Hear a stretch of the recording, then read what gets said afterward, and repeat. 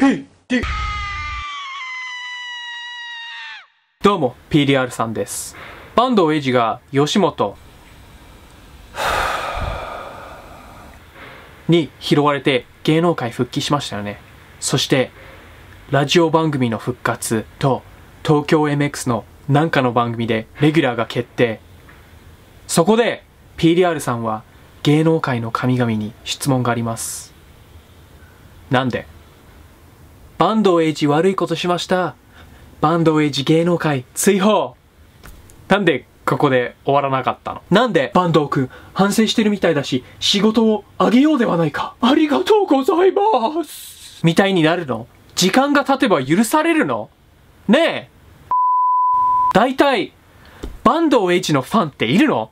うわ坂東英二が出てるから見なきゃって人いるの？もしいたらコメント残してください。すぐにブロックしてあげるから。最後に坂東英二前も言ったけど潔くゆで卵と一緒に芸能界から消えてくれいや消えるだけじゃダメだよな。はあ ただの夢夢じゃないよ。